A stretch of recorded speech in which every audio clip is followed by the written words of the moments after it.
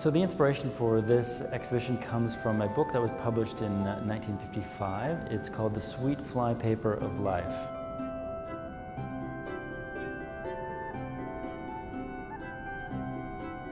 So, you know, in this period of the 1950s, uh, African American family life was not exactly something that was visible.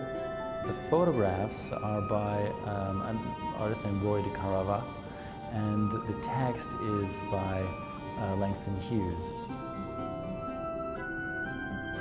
It's almost like a fictitious family album, and there's a really sort of beautiful relationship between um, you know, what you're reading and the, and the images that surround it. So this exhibition sort of begins with that book, but it includes a number of contemporary artists who are, you know, thinking um, and sort of visualizing African American family life, but also sort of pushing our notions of what a family is.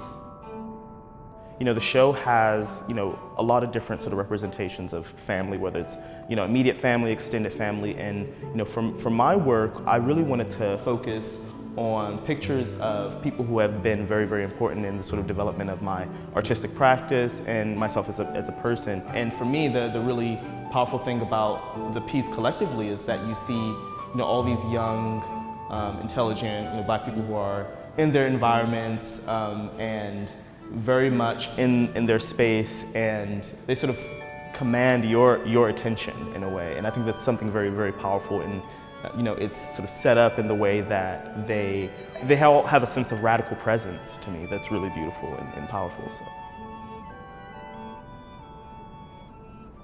Deana Lawson was born in 1979 and has become a, really you know, influential photographer.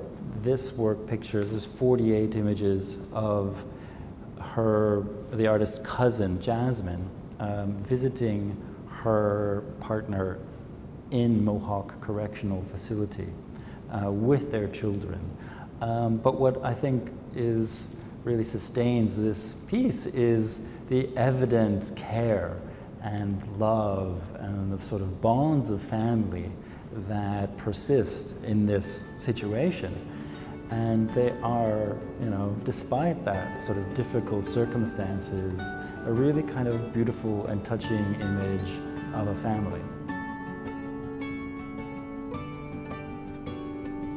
It's important that people are able to come to the museum and you know recognize something of their own life and their own experience uh, on the walls of the museum and it's equally important for people to recognize and experience difference.